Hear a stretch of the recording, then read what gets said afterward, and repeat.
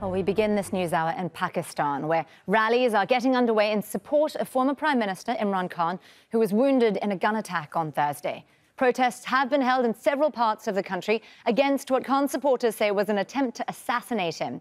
Well, Khan's party is accusing Prime Minister Shehbaz Sharif, his interior minister, and a senior army officer of plotting the shooting at a rally in Punjab province. The government denies the allegations. Police say they've arrested a man who says that he shot the cricketer turned politician to stop him from, quote, misleading people. Well, for more, let's bring in Kamal Hyder. He's in Islamabad for us. Kamal, we're seeing people now take to the streets. Tension is clearly building there. Absolutely. I'm at a key intersection bridge which connects Rawalpindi with Islamabad. This is also a very famous venue for protests.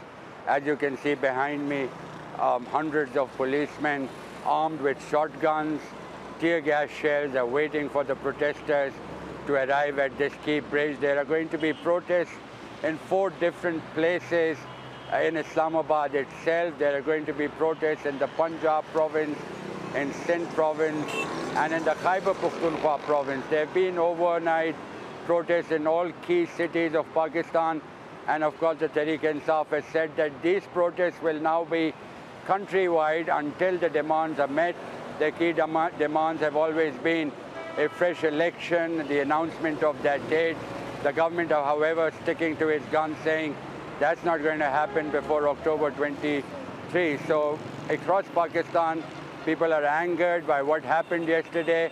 They do not believe the version provided by the government that this was a lone wolf. And there are serious question marks as to how uh, that man's video came out within 15 minutes of the attack on Imran Khan. The belief here is, and according to leading experts, that there was more than one assassin who was involved, including an assault rifle, possibly a Kalashnikov, and that was the automatic fire heard in the video just moments before um, we found out that he had been hit. Now, of course, these tensions are high. Pakistan Tehreek-e-Insaf Imran Khan uh, is holding a meeting of his party chiefs in Lahore where he's at a hospital, the Shaukat Khanum Hospital, and is also going to address a press conference at 11 GMT, which is going to be less than an hour from now.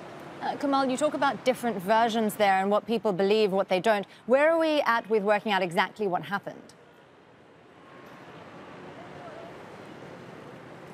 Well, it is quite certain now that more than one weapon was used and that the attacker who was caught was a decoy because it diverted attention towards that one person, then his confession coming out. Uh, although the legal procedure dictates that the man is first interrogated, proper investigations are done uh, before any uh, details are released. But here, state television brought him on air uh, minutes after that attack despite the fact that state TV and Pakistan Electronic Media Authority has put a strict clampdown on local media outfits not to report on Imran Khan's uh, speeches and his rally. He, of course, has been marching towards Islamabad. Uh, that was the seventh day yesterday when he was attacked.